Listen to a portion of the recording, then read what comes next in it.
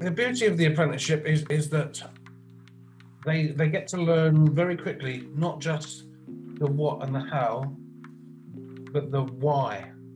So, so it's, it's having that that if you like theoretical knowledge alongside the practical implementation of it. I have got a lot more confidence in going in front of stakeholders, knowing I have that knowledge. Now I can do the actual analysis myself of data that we might be getting. I don't have to go to another team or an outside company, which again saves time.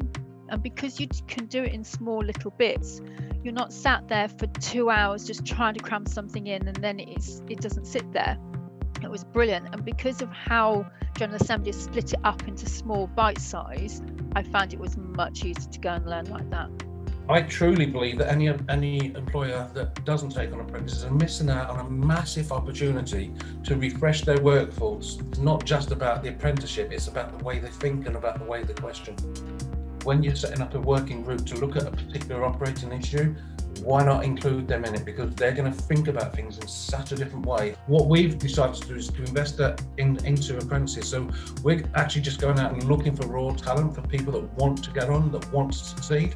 And we're finding that we're having tremendous results and, and that they make progress far quicker than actually the graduates